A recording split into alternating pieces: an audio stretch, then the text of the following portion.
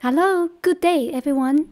Today I'm going to present to you what are the possible color choices of Christmas cactus. They are also called Thanksgiving cactus. Because they bloom from mid-November throughout the whole December. Therefore, in the winter months, this wonderful flower can be the holiday decoration for both Thanksgiving and Christmas. The first color here is this beautiful pink at the center and yet cream color at the edge of the flower petal, Christmas cactus flower. Here are some of the fresh looking, festive, beautiful flower.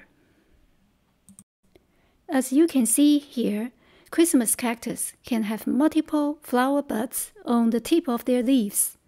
Another stunning color of Christmas cactus is this beautiful pure red. It can add a lot of warm atmosphere to the holiday season. Look at here. This is the yellow petal with pink at the center. Some people may call this apricot or peach color. It is such a delicious color. I also see people use this color of Christmas cactus as a gift to give to friends and family. Now let's see another stunning color. This is a very orange flower. Throughout the whole flower, it is totally orange. I think this is a very suitable color for New Year celebration. If they are still blooming after Christmas, we can use this as a wonderful gift to give out as a New Year gift.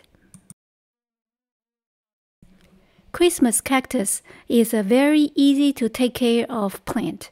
They prefer to have indirect highlight. So when you put it in your house, try to put it within 3 feet of any window, preferably south-facing window because they like indirect high light. Christmas cactus prefers not to be watered very frequently, especially when they are not blooming. When they are not blooming, they prefer the soil to be on the drier side.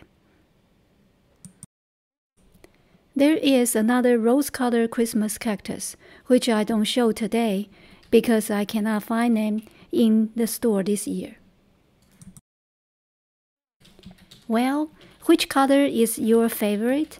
I hope you can find your favorite color this year in your nearby store.